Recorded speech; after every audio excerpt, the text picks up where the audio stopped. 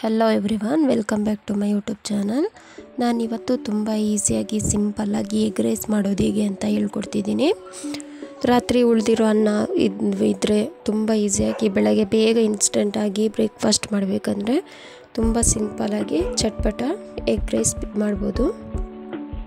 ನಾನು ವಿಡಿಯೋ ಜೊತೆಗೇ ಇಂಗ್ರೀಡಿಯೆಂಟ್ಸ್ಗಳನ್ನು ತೋರಿಸ್ತಾ ಹೋಗ್ತೀನಿ.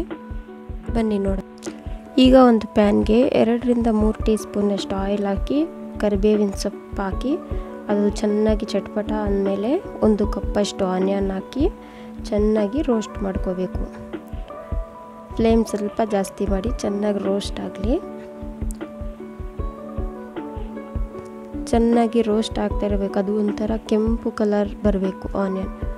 ಆ ಥರ ಕೆಂಪು ಕಲರ್ ಆದಾಗ ಅದಕ್ಕೆ ಒಂದು ಟೀ ಸ್ಪೂನಷ್ಟು ಶುಂಠಿ ಬೆಳ್ಳುಳ್ಳಿ ಪೇಸ್ಟ್ ಹಾಕಿ ಮತ್ತೆ ಚೆನ್ನಾಗಿ ಮಿಕ್ಸ್ ಮಾಡಿ ಶುಂಠಿ, ಬೆಳ್ಳುಳ್ಳಿ ಪೇಸ್ಟಿಂದು ಸ್ಮೆಲ್ ಹೋಗೋ ತನಕ ಚೆನ್ನಾಗಿ ಮಿಕ್ಸ್ ಮಾಡಿ. ಚೆನ್ನಾಗಿ ಮಿಕ್ಸ್ ಮಾಡಾದಮೇಲೆ ಅದಕ್ಕೆ ಒಂದು ಟೀ ಸ್ಪೂನ್ ಅರಿಶಿಣ ಪುಡಿ ಹಾಕಿ. ಅರಿಶಿಣ ಪುಡಿ ಹಾಕಿ ಚೆನ್ನಾಗಿ ಮಿಕ್ಸ್ ಮಾಡಿ. ನೋಡಿದ್ರೆ ಎಷ್ಟು ಚೆನ್ನಾಗಿ ಕಲರ್ ಬರ್ತಿದೆ ಆ ಥರ ಮಿಕ್ಸ್ ಮಾಡಬೇಕು. ಚೆನ್ನಾಗಿ ಮಿಕ್ಸ್ ಮಾಡಾದಮೇಲೆ ಒಂದು ಟೀ ಸ್ಪೂನ್ ತುಂಬ ಖಾರ ಬೇಕಂದರೆ ಎರಡು ಟೀ ಸ್ಪೂನ್ ಹಾಕಿ, ಎರಡು ಟೀ ಸ್ಪೂನಷ್ಟು ಖಾರ ಪುಡಿ ಹಾಕಿ, ನಾನು ಎರಡು ಸ್ಪೂ ಟೀ ಸ್ಪೂನ್ ಹಾಕಿದ್ದೀನಿ. ಏನಕ್ಕೆ ತುಂಬ ಖಾರ ಇಲ್ಲ ಇದು, ಖಾರ ಪುಡಿ. ಹಾಕಿ ಚೆನ್ನಾಗಿ ಮಿಕ್ಸ್ ಮಾಡಿ. ಚೆನ್ನಾಗಿ ಮಸಾಲ ರೋಸ್ಟ್ ಆಗಬೇಕು. ರೋಸ್ಟ್ ಆದಮೇಲೆ ಅದಕ್ಕೆ ಸ್ವಲ್ಪ ಗರಂ ಮಸಾಲ ಪೌಡ್ರ್ ಹಾಕಿ ಧನಿಯಾ ಪೌಡ್ರು ಒಂದು ಟೀ ಸ್ಪೂನ್ ಈಗ ಎರಡು ಟೀ ಸ್ಪೂನಷ್ಟು ಎಗ್ ಮಸಾಲ ಪೌಡರ್ ಬರುತ್ತಲ್ಲ, ಅದು ಹಾಕಿ. ಅದು ಆಪ್ಷನಲ್ಲು ಬೇಕಾದರೆ ಹಾಕಿ. ಎರಡು ಟೀ ಸ್ಪೂನಷ್ಟು ಎಗ್ ಮಸಾಲ ಪೌಡ್ರ್ ಹಾಕಿ. ಚೆನ್ನಾಗಿ ಮಿಕ್ಸ್ ಮಾಡಿ, ಎಲ್ಲ ಇದು ಮಿಕ್ಸ್ ಆಗಿ ಚೆನ್ನಾಗಿ ರೋಸ್ಟ್ ಆಗಬೇಕು. ಚೆನ್ನಾಗಿ ರೋಸ್ಟ್ ಆದಮೇಲೆ ಒಂದು ಕಪ್ಪಷ್ಟು ಟೊಮಾಟೊ ಹಾಕೋಣ ಅದಕ್ಕೆ. ಒಂದು ಕಪ್ಪಷ್ಟು ಟೊಮಾಟೊ ಹಾಕಿ ಚೆನ್ನಾಗಿ ಮಿಕ್ಸ್ ಮಾಡಿ.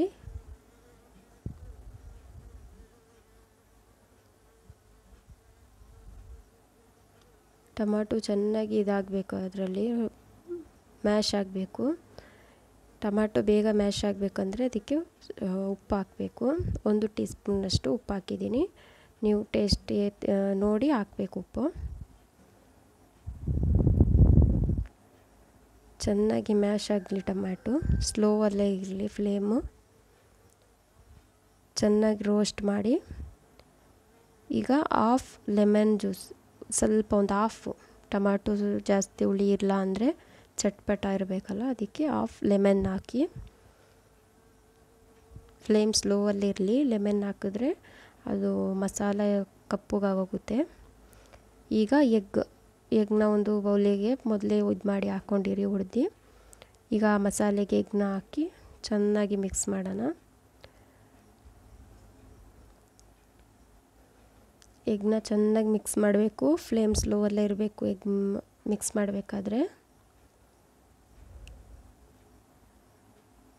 ಚೆನ್ನಾಗಿ ಮಿಕ್ಸ್ ಮಾಡಾದ್ಮೇಲೆ ಒಂದೆರಡು ನಿಮಿಷ ಆ ಥರನೇ ಸ್ಲೋ ಫ್ಲೇಮಲ್ಲೇ ಐದು ನಿಮಿಷ ಮುಚ್ಚಿ ರೆಸ್ಟ್ ಆಗೋಕ್ಕೆ ಬಿಡಬೇಕದು. ಚೆನ್ನಾಗಿ ಮಿಕ್ಸ್ ಆಗಲಿ. ಮಸಾಲ ಎಲ್ಲ ಚೆನ್ನಾಗಿ ಇದಾದಮೇಲೆ ಮತ್ತೆ ಸ್ವಲ್ಪ ಇದು ಮಾಡಿ ನೋಡಿ. ಇಲ್ಲಾಂದರೆ ಬೇಗ ಕೆಳಗಡೆ ಸೀದೋಗುತ್ತೆ, ಬಾಣಲಿಗೆ ಇದಾಗುತ್ತೆ. ಚೆನ್ನಾಗಿ ನೋಡಿ ಮಿಕ್ಸ್ ಆಗಿದೆ ಈಗ ಮಸಾಲ, ಎಗ್ ಎಲ್ಲ.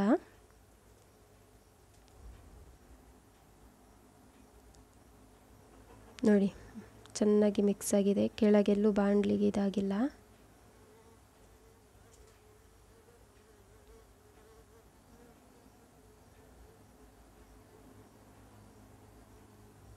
ಈಗ ಚೆನ್ನಾಗಿ ಮಿಕ್ಸ್ ಆದಾಗ ನಾವು ಮಾಡಿಟ್ಟಿರ್ತೀವಲ್ಲ ರೈಸು ಆ ರೈಸನ್ನೇ ಇದಕ್ಕೆ ಹಾಕಬೇಕು. ಉಳ್ದಿರೋ ರೈಸ್ ಇದ್ದರೂ ಆಗುತ್ತೆ. ಹೇಗೂ ಆಗುತ್ತೆ ನೋಡಿ ರೈಸ್ನ ಒಂದು ಕಪ್ಪಷ್ಟು ತಗೊಂಡು ಹಾಕಿ ಚೆನ್ನಾಗಿ ಮಿಕ್ಸ್ ಮಾಡಿ.